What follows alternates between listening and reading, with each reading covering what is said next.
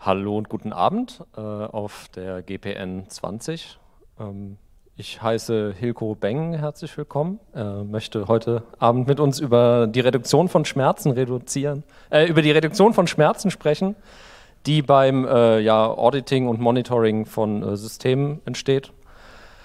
Äh, Hilko arbeitet in einem CERT und beschäftigt sich beruflich damit, eindringenden und äh, Incidents in Systemen zu erkennen, zu monitoren und nachzuverfolgen und hat ja, während dieser Forschung dazu äh, ein, ein Monitoring-System entwickelt und möchte uns das heute vorstellen. Hilko, vielen Dank, dass du da bist. Äh, ich wünsche euch allen viel Spaß beim Talk und äh, ja, los geht's, würde ich sagen. Ja, denk, danke für die nette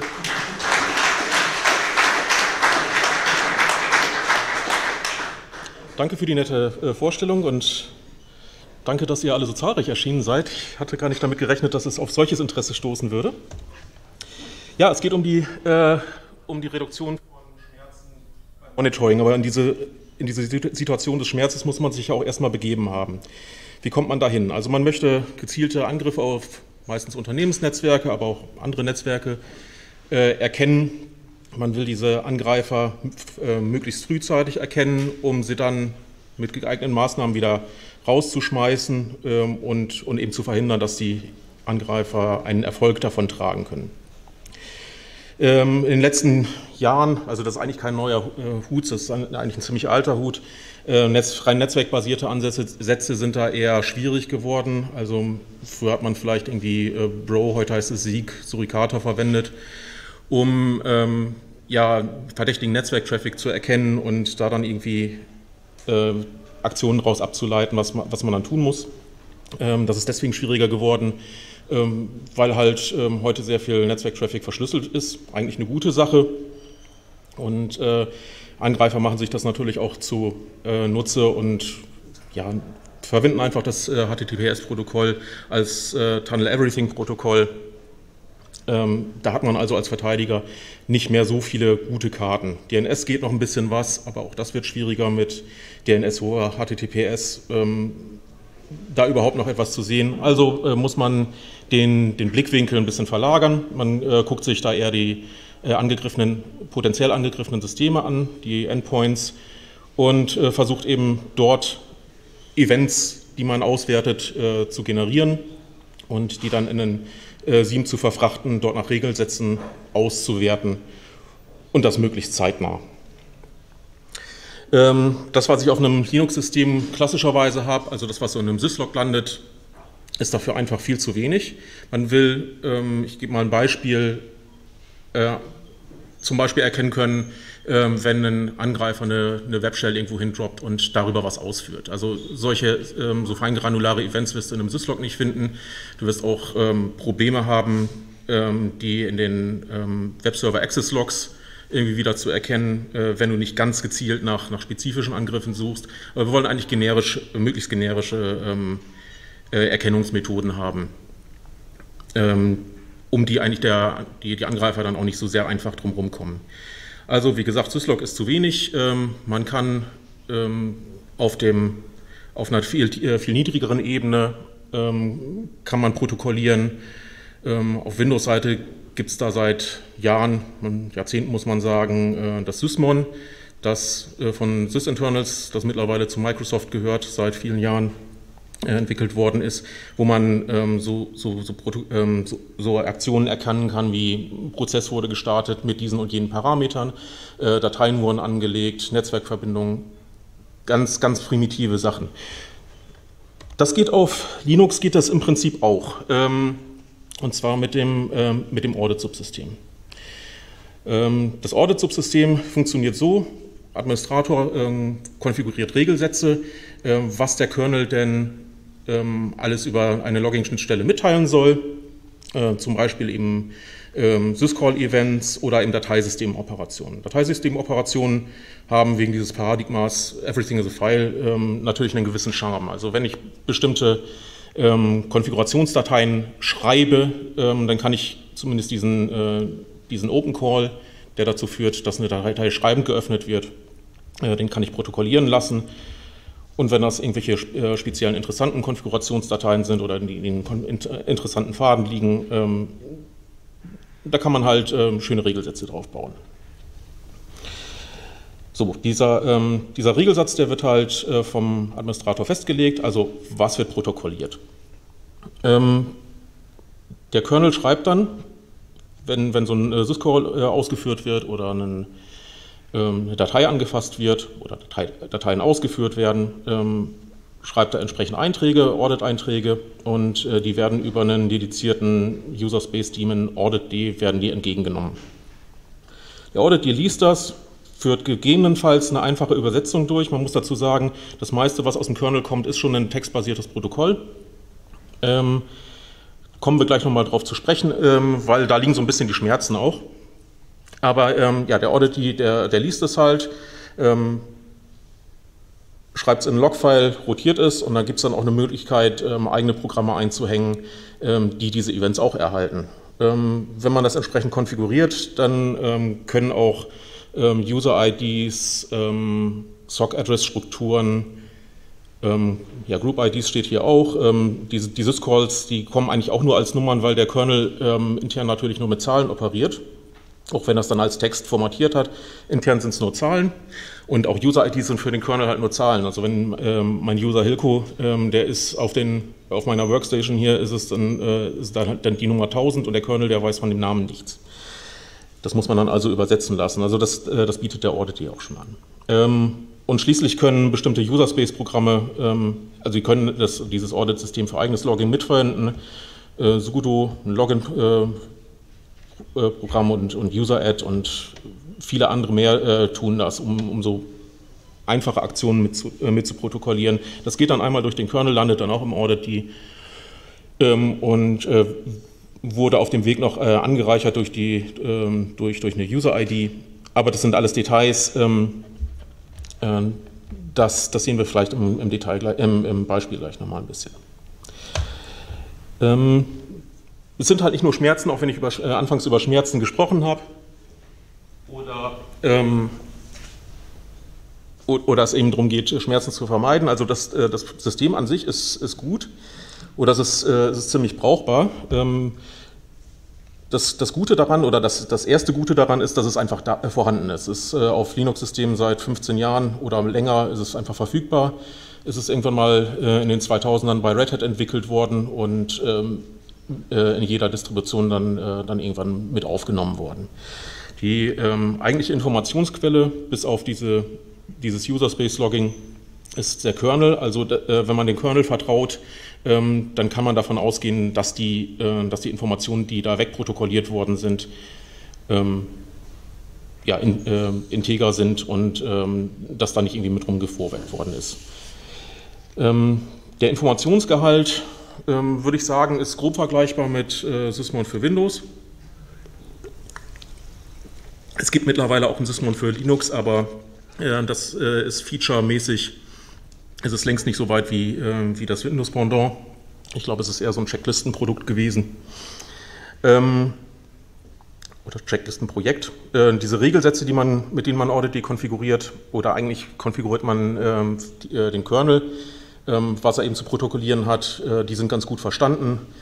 Hier habe ich ein paar Anregungen, ähm, Anregungen angegeben, was, was man sich angucken kann. Ähm, was ganz interessant ist, ist diese, sind, sind, diese Vorgaben oder ähm, Richtlinien vom äh, Center for Internet Security. Wenn man überhaupt keine Ahnung hat, was man tut, äh, um ein Linux-System zu härten, sind die gar nicht verkehrt. Ähm, es gibt ganz gute Unterstützung dann noch für lokale Analyse- und Reporting-Werkzeuge, aber es sind eben lokale Analyse- und Reporting-Werkzeuge. Das ORTrace ist so ein bisschen ein Pendant zu S-Trace, ähm, das eben dieses Audit-Subsystem mitverwendet, um, um äh, zu protokollieren, was einzelne Prozesse nicht tun. Ähm, und es braucht halt keinen, keine Debug-Schnittstelle dafür. Aber jetzt kommen wir zu den Schmerzen. Das ich hatte schon ange äh, angedeutet, das ähm, Format, das Log-Format, das aus dem Kernel fällt, ähm, das ist textbasiert und es ist ein bisschen irregulär. Ähm, also es ist auf gar keinen Fall dazu geeignet, ähm, dass man das irgendwie von, ähm, äh, einem Menschen vorwirft. Ähm, zum Teil sind so Binärdaten, kommen wir gleich nochmal drauf. Ähm, die, die werden einfach äh, dann hexkodiert und ja, da ist halt von, von dieser ähm, von, von, diesem Vorteil von, von textbasierten Logging ist da einfach nichts mehr da. Ähm, und da das ja so Teil der Kernel-User-Schnittstelle ist, äh, kann man da auch nichts mehr dran ändern, praktischerweise. Also man könnte das Ganze neu bauen, irgendwelche äh, Custom-Formate sich ausdenken, äh, die dann schließlich, äh, die, die, dann, die dann irgendwie als Binärdaten aus dem Kernel kommen, aber das würde halt große Änderungen äh, bedeuten und ich glaube nicht, dass das jemand tun wird. Ähm, für diese Events, äh, diese Events können halt ähm, unterschiedliche Aspekte haben und die, äh, die muss man dann zusammenfassen. Also es, es steht vorne immer eine äh, Event-ID dran. Und ähm, so ein, so ein Syscall-Event mag, mag irgendwie mit Faden hantieren ähm, oder ein execve, ähm, ein execve Syscall, der hat dann noch ein extra, ähm, extra Message dabei, wo drin steht, was für ein Programm denn eigentlich ausgeführt wird. Solche Dinge, die muss man äh, zusammenfassen ähm, über die Event-ID. Aber wenn man das Ganze in einen Seam pumpt, ähm, dann wird es schlimm, weil ähm, äh, die meisten modernen SIEM-Systeme sind im Kern eigentlich ähm, Volltext-Suchmaschinen. Und äh, sie sind nicht so besonders gut darin, ähm, so Join-Operationen, wie man sie von Datenbanken kennt, durchzuführen. Und ähm, man kann das zwar tun, aber es wird sehr schnell sehr langsam und ähm, man wird damit nicht glücklich. Und ähm, da gibt es ein paar Lösungsansätze dafür. Ähm, das, das rohe Format ähm, ist jedenfalls äh, da nicht so das Gelbe vom Ei. Datenmenge spielt sicherlich auch eine Rolle. Je nachdem, wie viele Münzen man bei Splunk eingeworfen hat, kann einem das aber relativ egal sein. Ähm, und diese Reporting-Werkzeuge, die, äh, die ich die gerade erwähnt hatte, die müssen halt lokal laufen. Für so einen, für so einen SIEM-Betrieb sind die auch nicht geeignet. Kommen wir zum ersten Beispiel. Wir wollen äh, uns melden lassen, wenn äh, Konfigurationsdateien, äh, die uns besonders wichtig sind, in diesem Fall halt die Konfiguration für sudo, ähm, wenn da, äh, wenn da jemand was dran ändert. Also machen wir zwei, ähm, äh, zwei Regeln. Ähm, einmal äh, eine Regel dafür, ähm, dass, dass, wir, ähm, dass protokolliert wird, wenn die Datei etc sudoers äh, selbst geändert wird und äh, die zweite, wenn in etc sudoSD in einem Verzeichnis ähm, irgendwo eine Datei geschrieben wird. Dieses, diese Protokollierung, die sieht dann so aus wie, wie unten angegeben. Also das, unten ist das ganze Event, was zu dem, zu dem Open-Event gehört. Also der Angreifer hat, hat jetzt ausgeführt, äh, T, etc, sudo ist die Backdoor, die, die komische Schreibweise mit den Umlauten ist Absicht. Ähm, denn da sehen wir schon, ähm, dass ähm, in dem zweiten Path-Eintrag der Name total verhackstückt wird. Also eigentlich ist er nicht verhackstückt worden, sind alle Informationen noch da, alles kein Problem. Aber richtig lesbar ist das halt nicht und richtig greppbar und, und automatisch in einer, in einer, Volltextsuche zu verarbeiten äh, ist das halt auch nicht. Da muss man also ein bisschen Post-Processing machen. Gehen wir mal auf die einzelnen Komponenten ein. Also das, das T können wir sehen, gleich mehrfach. Das ähm, Programm ähm, T wird, äh, wird ausgeführt oder ist ausgeführt worden und äh, taucht dann als Kontext in unserem Syscall-Event auf. Ähm, in der ersten Zeile. Ähm, wir haben eine ähm, wir, wir, haben ein äh, Event, äh, wo, wo wir das ähm, Current Working Directory äh, dieses Aufrufs mitgeteilt bekommen. Das ist halt bei ähm, bei Aufrufen wie, wie OpenAd ist das wichtig. Und ähm, ist das hier ein OpenAd? Ich glaube ja, ne? Ich sehe es gerade nicht. Ah, ich habe hier die Übersetzung nicht mit dabei. Sonst wäre die Slide noch unübersichtlicher geworden. Äh, dieses äh, Keyword ähm, Scope, das wir oben in den Regeln angegeben haben, ähm, das landet mit in, in, in, dem ersten Eintrag zumindest. Ähm, wir können also einfach darauf matchen ähm, auf das Keyword Scope, aber wie gesagt, dieser, äh, dieser Pfadname, den müssen wir dann nachverarbeiten. Ähm, am Ende ist noch dieses, äh, dieses Proc-Title ähm, Daten. Ähm, das ist, sind die ersten, ich glaube, 128 Byte äh, der, der Kommandozeile des, ähm, des gerade laufenden Programms. Also das ist das T, äh, dann äh, ein 0 Byte und äh, dann der, das erste Argument in dem Fall. Ähm, was haben wir noch? Ähm, uns wird die Architektur mitgeteilt, der Sys, die Syscall-Nummer, äh, Audit, wenn wir es entsprechend konfiguriert hätten, würde uns die Architektur in ähm, x86-64 übersetzen. Den Syscall würde es uns, glaube ich, in OpenAD übersetzen. Ähm, dann gibt es noch äh, Syscall-Argumente, äh, A0 bis A3. Ähm, hier fällt auf, ähm, dass dass die, die Syscall-Argumente sind, äh, sind eben in Hex-Darstellung, da ist kein 0x davor. Also man kann das, man muss da schon ein bisschen äh, Wissen mitbringen, um das richtig deuten zu können. Also ähm, ich könnte jetzt sagen, die, die Zahl 257, das ist mir gerade unwichtig, aber ähm, wenn die sowieso übersetzt wird, aber die, diese User-ID, die RUID, die, die ist dann halt wieder dezimal. Prozess-ID, Parent-Prozess-ID haben wir. Ähm, in den Path, äh, in, in, den Path-Teilen haben wir noch ähm, äh, den, den, den File-Mode jeweils, äh, der ist in Octal. Ähm, also das ist ein, ist ein schönes Durcheinander.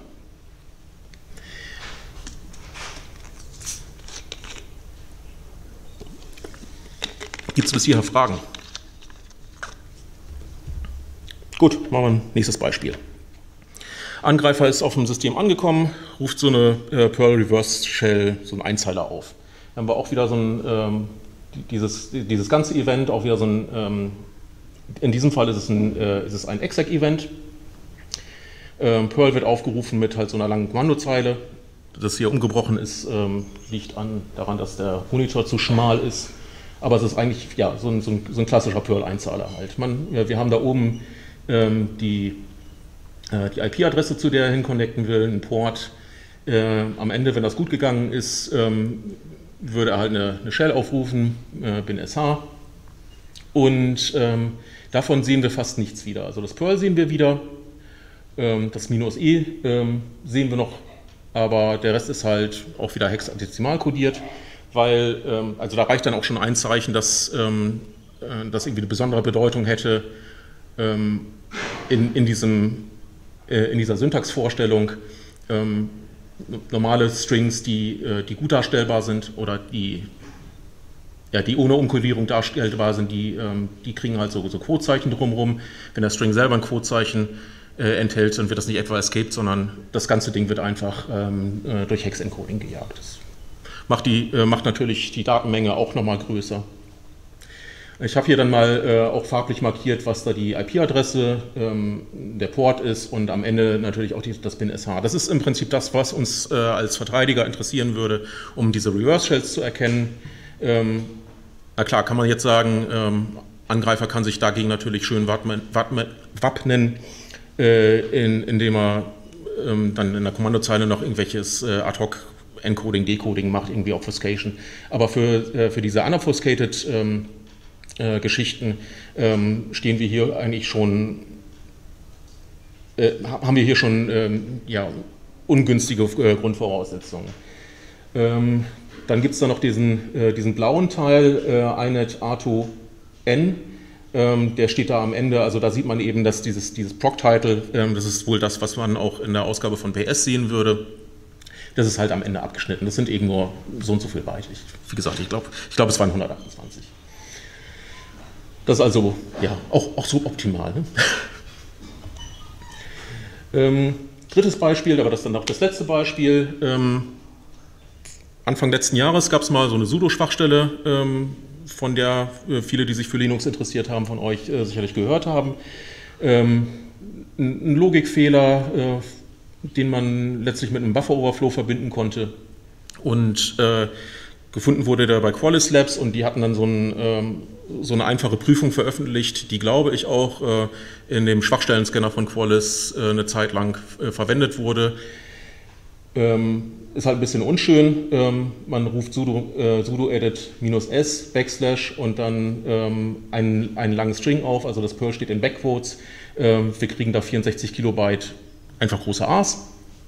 Und äh, das Schöne ist ähm, bei, bei dieser Audit-D-Ausgabe, ähm, dass die ganzen 64 Kilobyte tatsächlich auch gelockt werden können. Also wie, wie sinnvoll das im Einzelnen ist, ist so ein bisschen, äh, sei mal dahingestellt, aber äh, uns gehen da erstmal keine Daten verloren. Wie sie dargestellt werden, ist halt großer Mist. Ähm, auch hier habe ich es wieder äh, farblich markiert. Ähm, wir sehen da hier dieses, äh, das, das Sudo-Edit, ähm, die, die, die Kommandozeilenargumente ähm, minus S und Backslash. Und ähm, ja, ähm, die, ähm, es gibt für dieses aufgespaltene äh, Längenfeld, es sind eben mehrere Events, die man dann über, die, über diese Event-ID zusammen korrelieren müsste. Für, für das lange Event äh, gibt es dann halt netterweise noch eine Längenangabe, wir wissen also, wie viele von, äh, von diesen Zeilen wir erwarten können, wenn wir das parsen wollen. Ähm, und ja, da eben alles dezimal kodiert ist, obwohl es ähm, für sich als, als, als Teilstrings wäre, das alles ähm, in, in normalen Strings darstellbar. Es wird halt trotzdem alles, alles verhext. Wir haben äh, dann mit äh, Kollegen äh, uns im letzten Jahr irgendwann angefangen, ähm, alternat nach Alternativen umzusehen, ähm, weil wir eben diesen Schmerz gespürt haben. Und äh, es gibt ein paar Alternativen, die man äh, statt AuditD nehmen kann. Äh, von Elastic gibt es dieses äh, AuditBeat in Go geschrieben. Ähm, Im Prinzip machen die schon äh, keine komplett falschen Sachen. Sie, ähm, sie fassen diese ganzen Event-Fragmente zusammen anhand der Event-ID, packen das in einen JSON und, und loggen das. Ähm, ist dann gut konsumierbar für Elasticsearch. Und ähm, im Prinzip kann man damit arbeiten, äh, wir jedoch nicht. Denn äh, wir haben mal äh, ein bisschen experimentiert, ähm, wie das auf Systemen ist, die, die hohe Last haben und äh, wo, es, wo Anwendungen drauflaufen, die aus riesigen Shell-Skripten irgendwelche Batch-Verarbeitung für Logistikgedöns machen. Ähm, bei, bei irgendwie mehr als ähm, 100.000 ähm, Execs pro Sekunde, äh, weil es eben alles Shell ist, äh, wirst du da nicht glücklich ähm, Auditbeat ähm, äh, schied einfach deswegen aus. Nicht alle unsere Systeme sind, sind von dieser Eigenart, aber ähm, ja, die wollen wir schon auch monitoren und äh, wenn das nicht geht, dann geht das eben nicht.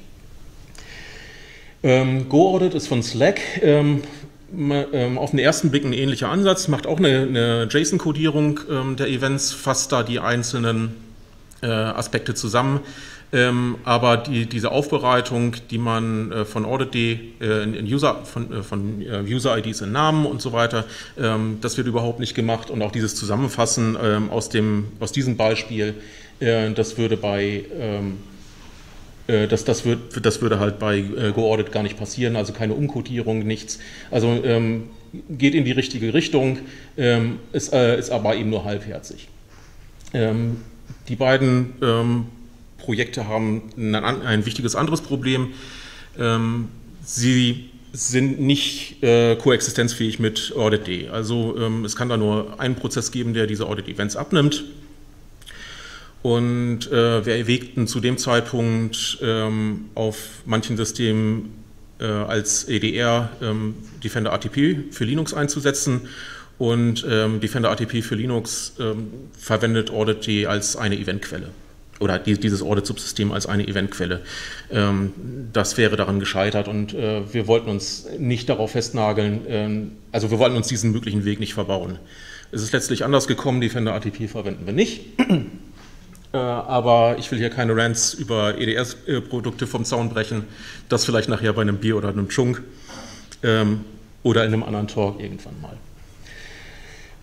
Ich hatte anfangs auf diese äh, Plugin-Schnittstelle hingewiesen. Ähm, das ist so dieses, dieses Dispatcher-Plugin, ähm, äh, diese, diese, ähm, über diese Plugin-Schnittstelle ähm, kann man eben eigene Programme starten lassen, die die gleichen Events bekommen, wie AuditD sie in die äh, Logfiles schreibt. Und ähm, da kann man dann im Prinzip äh, tun, was man will und, äh, und umkodieren, wie man will. Und da gibt es auch einige Projekte, ähm, die das versuchen, ähm, sogar mit JSON als einer, ähm, als, als einer, in einem Zielformat. aber alles das, was ich gefunden habe, war entweder seit Jahren nicht gepflegt oder in der Skriptsprache geschrieben und äh, ja, wenn, äh, wenn das äh, Audit Beat, das, äh, das in Go geschrieben ist, äh, schon an Performance-Problemen zusammenbricht, dann äh, will ich da auch erst recht kein Perl oder Python haben. Ne? Ähm, C oder C++ macht Respekt, weil ähm, es wäre halt schon schlecht, wenn äh, gerade das ZERT dafür verantwortlich gemacht würde, äh, irgendwelche Sicherheitslücken in die, eigene, in die große Infrastruktur gerissen zu haben und man darüber dann geohnt wird. Wollten wir auch nicht so gern. OS3 haben wir uns angeguckt. Ähm, stellte sich auch schnell raus, das kann nicht mit Audit koexistieren und ähm, äh, hat, hat eigentlich einen ganz anderen Ansatz, aber wir haben es mal ausprobiert. Ähm, äh, Audit äh, oder die, die Audit Logs sind, da, ähm, sind für OS Query halt nur eine Eventquelle und man fragt dann äh, mit SQL-Syntax äh, seine Flotte ab, ähm, hör mal, wo gibt es denn den Prozess namens XY? Also sowas kann man damit machen und eine Eventquelle ist dafür eben Audit, aber ähm, so einen kontinuierlichen äh, äh, Datenstrom zu erzeugen, äh, den man äh, zentral in einem SIEM verarbeitet, das geht nicht. Äh, schließlich kam noch, also das war nach, ich muss dazu sagen, das war nach unserer Evaluation und äh, unseren weiteren Entscheidungen.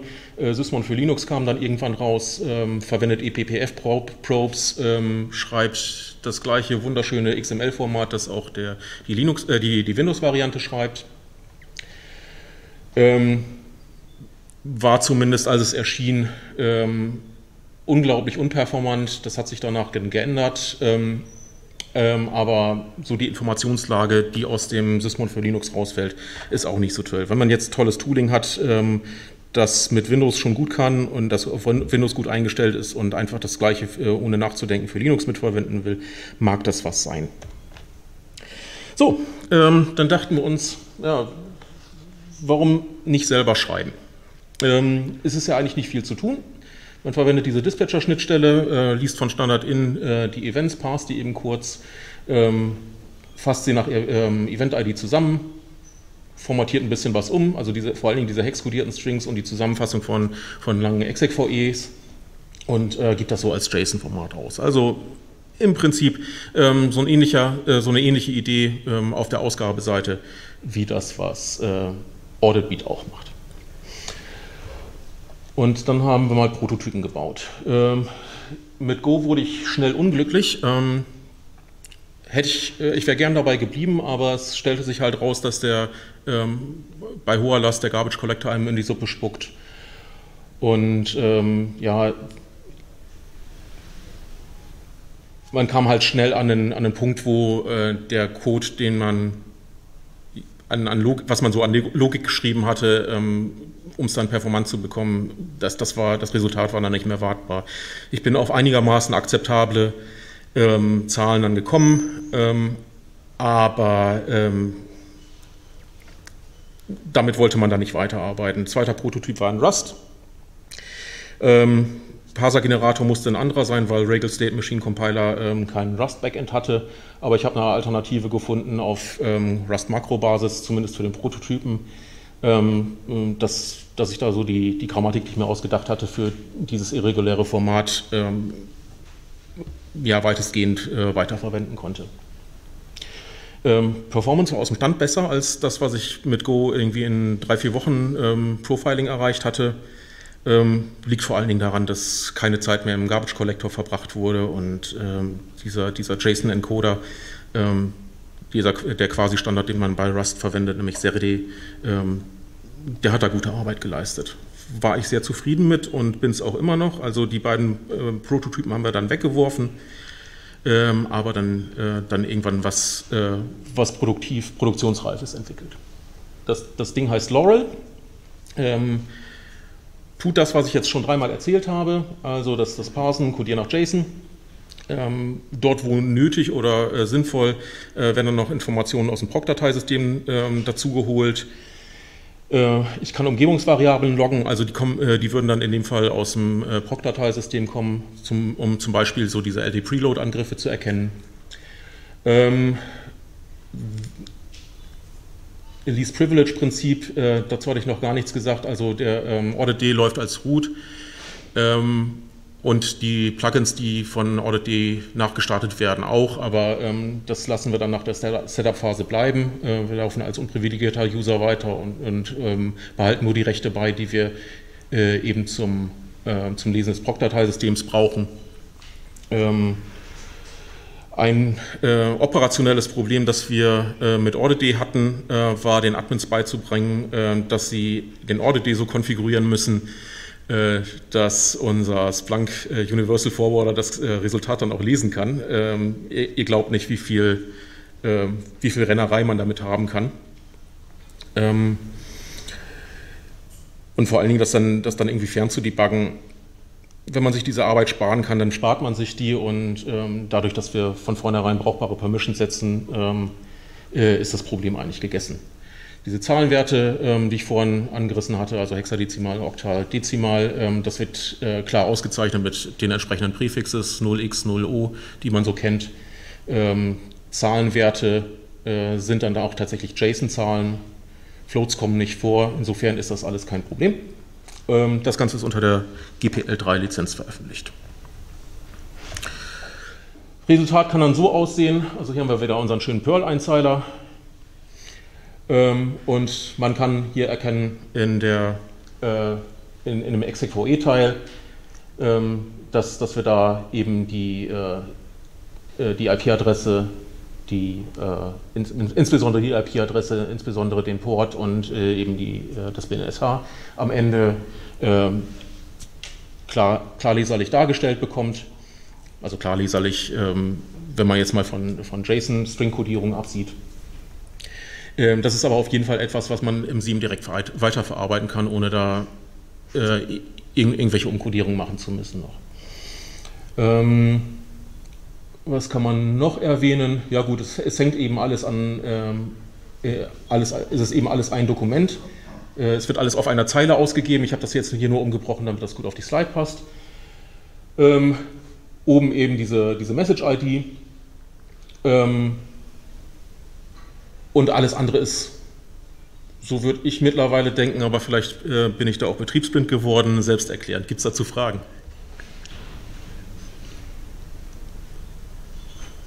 Nicht. Okay. Dann noch ein bisschen was zur Performance. Äh, einige dieser Messungen, ähm, die hier zu sehen sind, hatten wir ähm, in dieser Prototypenphase schon gemacht oder vor der Prototypenphase. Man sieht eben ganz deutlich, diese gelbe Linie ähm, Audit Beat war weil es ihm vor Sysmon für Linux rauskam, war damals wirklich der, der schlechteste Kandidat. Ähm, mittlerweile ist Sysmon für Linux, ähm, nachdem da äh, jemand Performance gefunden hatte, äh, steht es etwas besser da als AuditBeat. Ähm, wir haben hier eine, eine, grüne und eine blaue Linie. Das ist ähm, einmal AuditD ohne diese Übersetzung von äh, User-IDs in Namen und, und so weiter und ähm, AuditD äh, mit, dieser, äh, mit dieser Übersetzung, dieses Enriched-Format. Äh, äh, die braucht halt ein bisschen mehr CPU. Äh, umsonst ist das halt nicht zu haben. Ähm, Go-Audit äh, irgendwo dazwischen sieht also gar nicht so schlecht aus, ähm, aber Go-Audit macht halt überhaupt keine Übersetzung. Ähm, Audit-D ähm, ähm, plus Laurel äh, in einer früheren Version, wir sind mittlerweile ein bisschen weiter, äh, sieht da gar nicht so schlecht aus. Also das, ähm, vielleicht ist auch noch Performance zu finden, müssen wir mal gucken. Gemessen ist das alles auf einer ähm, AWS EC2 T2.small Instanz. Also das waren wirklich ver äh, vergleichbare äh, Verhältnisse und äh, was ich eben gemacht hatte, äh, um die Last zu generieren, war ähm, in einer, äh, so, so, schnell wie es ging oder nee, eigentlich eher so schnell wie es gewünscht, äh, wie es, wie gewünscht war, ähm, so, so ein Bin-Show zu starten, immer wieder, immer wieder, immer wieder. 60.000 Mal die Sekunde, äh, 60.000 Mal die Minute ähm, und dann äh, eben die, die, die Counter für CPU, äh, User, CPU-System ähm, vorher, nachher zu vergleichen. Also kein, kein, äh, kein, großes Hexenwerk eigentlich. Man sieht da ähm, nach rechts hin auch äh, die Linien so ein bisschen abknicken. Also bei, ähm, bei Audit Beat halt äh, viel, viel früher. Ähm, da war einfach alles an CPU-Zeit auf der Instanz ähm, schon ausgelastet und man kann auch davon ausgehen, dass, dass an der Stelle dann schon Events verloren gegangen sind. Aber wie gesagt, diese, diese 1000 äh, äh, Execs pro Sekunde ist wirklich etwas, was wir ähm, auf einigen der von uns zu überwachenden Systeme sehen und deswegen ähm, muss, ähm, muss so eine Nachverarbeitung von Audit-Events da eben auch mithalten können. Das war uns sehr wichtig. So, dann kommen wir zum, so langsam zum Schluss. Ähm, äh, ich habe irgendwann nochmal eigene Übersetzung von Syscalls, also dieses Enriched Feature, ähm, in, in, Text ähm, implementiert äh, innerhalb von Laurel. Das brachte ein bisschen Performance.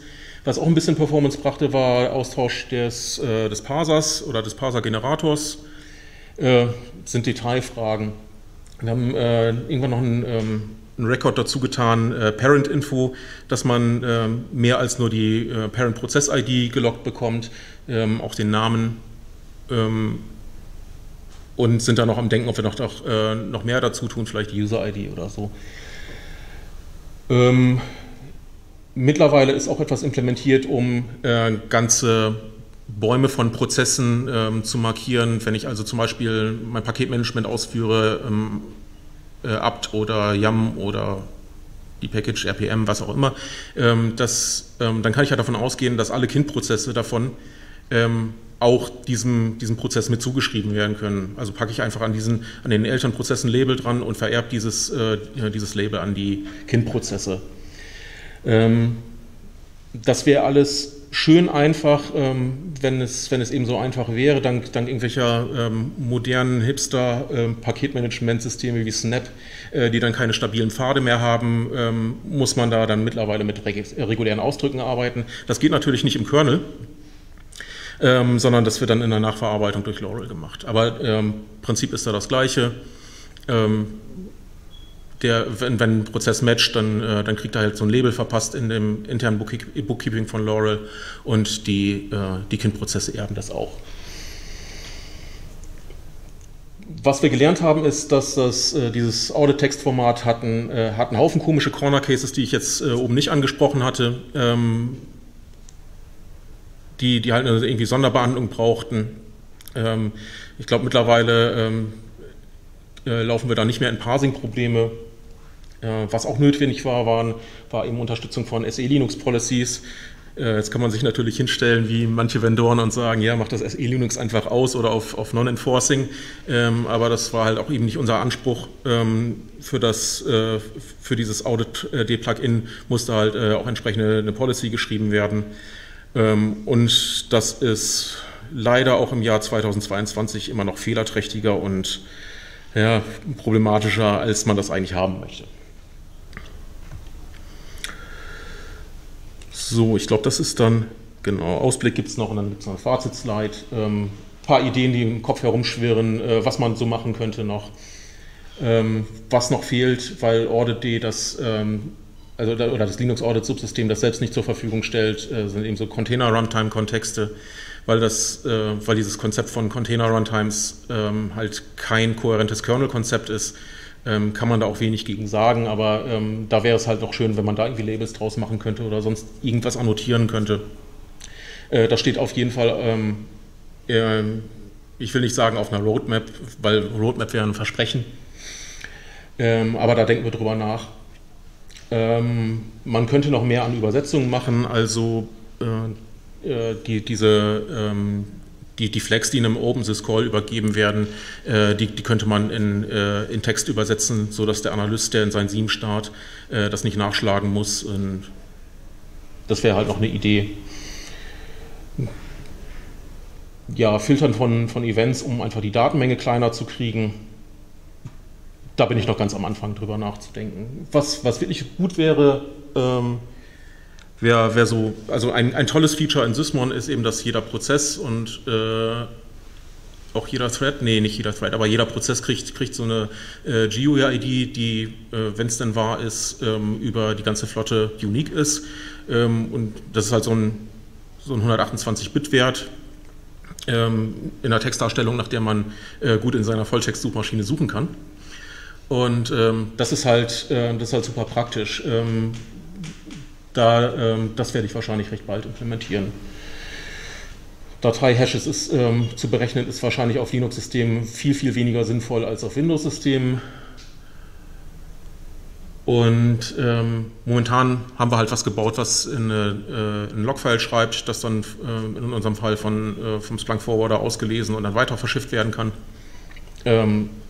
Ähm, da wäre auch denkbar, es, es, äh, es, hat schon Leute gegeben, die da irgendwie äh, gerne alternative ähm, Backends für gehabt hätten. Wenn da jemand ähm, sich berufen fühlt, einen Pull-Request zu stellen, ich gucke mir das gerne an. So, inhaltlich haben wir eine tolle Basis. Ähm, zumindest eine brauchbare Basis. Also es könnte immer besser sein, aber ähm, äh, es ist nicht so schlimm, wie, wie geschrumpfen wird.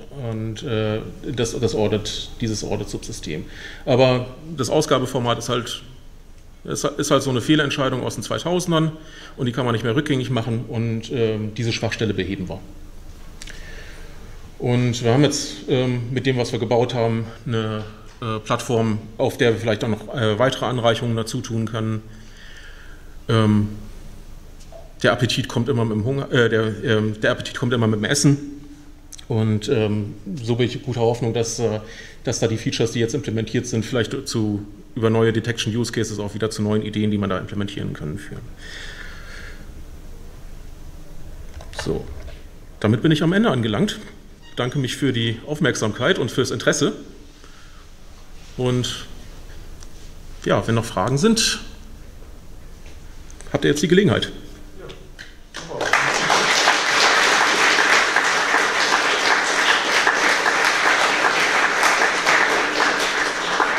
Vielen Dank auch. Wenn ihr Fragen habt, so wie ihr das gerade schon vorgemacht habt, Handheben. Ich komme mit dem Mikro zu euch, dann kann jeder die Frage gut hören.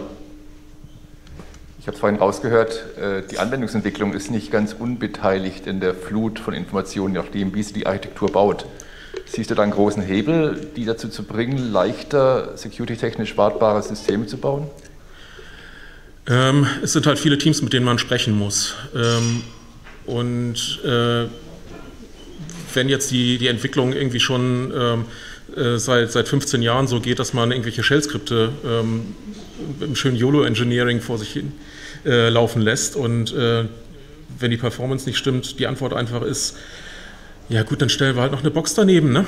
Ähm, dann sehe ich da wenig ähm, Einflussmöglichkeit von unserer Seite, dass wir da, äh, also das, das Einzige, was, äh, was letztlich äh, was, was diese Teams tatsächlich motivieren kann, äh, sind irgendwie Kostenersparnisse. Und äh, diese Kostenersparnisse, die müssen, selbst die müssen, äh, müssen ja auch herbei argumentiert werden. Also da muss man jemand genau hingeguckt haben, äh, hier wäre dieses oder jenes Potenzial, ähm, so und so viele Maschinen zu sparen. Ähm, wenn, wenn ihr so und so macht, äh, dann werdet ihr nachts weniger oft rausgeklingelt. Über, über solche Hebel kannst du sie natürlich kriegen, aber ähm, rein über rein äh, über die Möglichkeit des Security Monitoring. Ähm, ja gut, man könnte sagen, wir können eure Systeme nicht, äh, nicht monitoren, äh, mach mal Risikoübernahme. Das geht natürlich auch, aber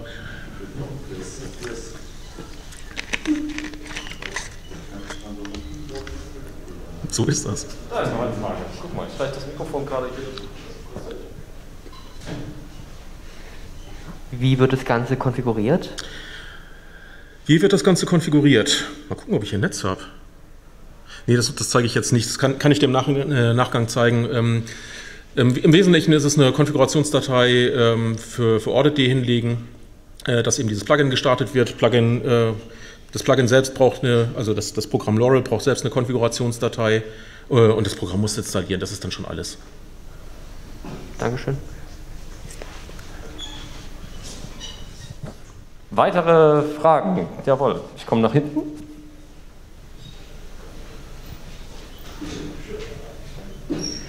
So, keine Frage, sondern eigentlich eine Anmerkung. Wir in der Firma haben das, weil wir kein zusätzliches Tool installieren wollten, so gelöst, dass wir einen RSS-Log genommen haben, weil wir die Daten eh damit fortschieben und dann ein Start-Message Regex eingebaut haben. Das heißt, dass wir bestimmte ODD-Keys zusammenfassen und dann innerhalb einer Zeile dann halt wegschicken. Mhm. Es ist zwar nicht so schön, wenn man das Backslash n mit dabei hat aus dem Template in Log, aber es funktioniert schlussendlich auch. Ähm, löst Ersuslog für dich das, äh, äh das Hexadezimalkodierungsproblem? Nee, das leider nicht. Da haben wir bisher noch keine wirkliche Lösung gefunden. Also ich habe mit einem Kollegen jetzt letzte Woche noch drüber geschaut. Ähm, es gibt auf dem Linux-System selbst sehr wenige Implementierungen, die das machen können bisher. Mhm.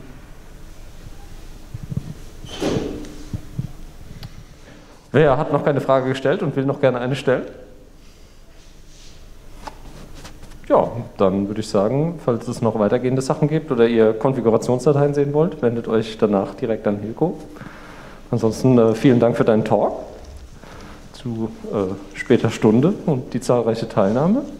Und dann würde ich sagen, verabschieden wir ihn mit einem großartigen Applaus in den Abend. Und, äh Ja. Euch allen auch noch viel Spaß auf der GPN. Vielen Dank.